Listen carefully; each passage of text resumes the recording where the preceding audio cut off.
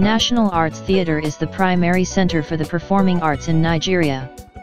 The monument is located in Iganmu, Surulere, Lagos, Nigeria.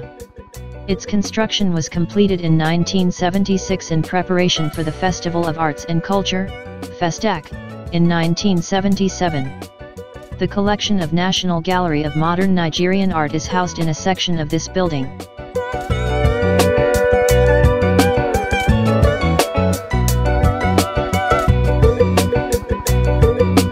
The construction of the National Arts Theatre was started by the military regime of General Yakubu Gowon and completed during the military regime of Olusegun Obasanjo.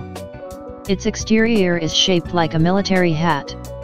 It has a 5,000-seater main hall with a collapsible stage, and two capacity cinema halls, all of which are equipped with facilities for simultaneous translation of eight languages, among others.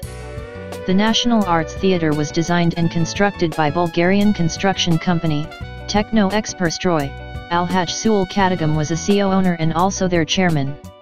It resembles the Palace of Culture and Sports in Varna, Bulgaria, completed in 1968, the National Arts Theatre Lagos being the bigger of the two.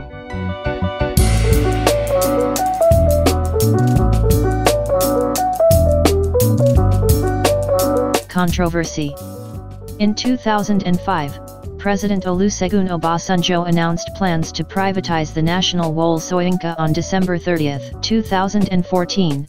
It was reported that the National Arts Theatre has been sold to a Dubai-based conglomerate for the sum of $40 million, and that the building will be converted to a duty-free shopping mall.